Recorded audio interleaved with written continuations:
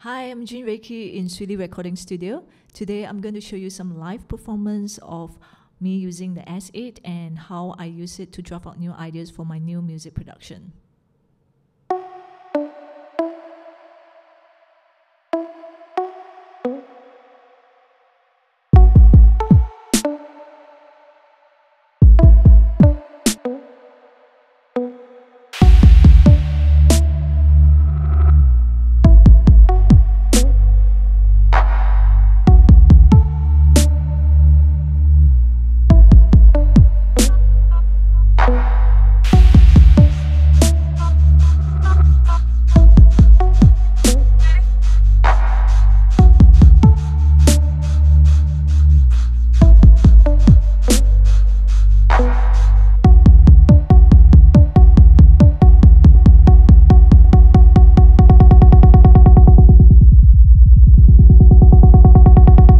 Temperature is rising up.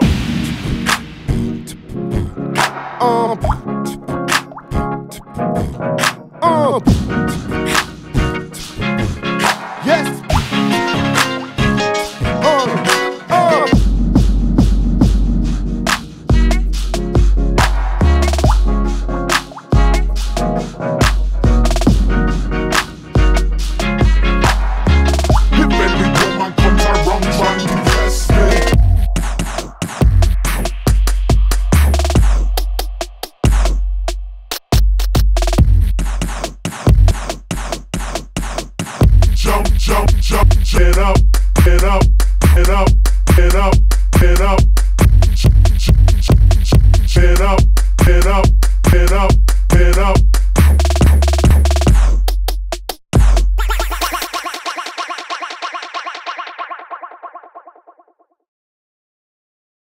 First of all, if you're into glitches, you'll love the looping features in here.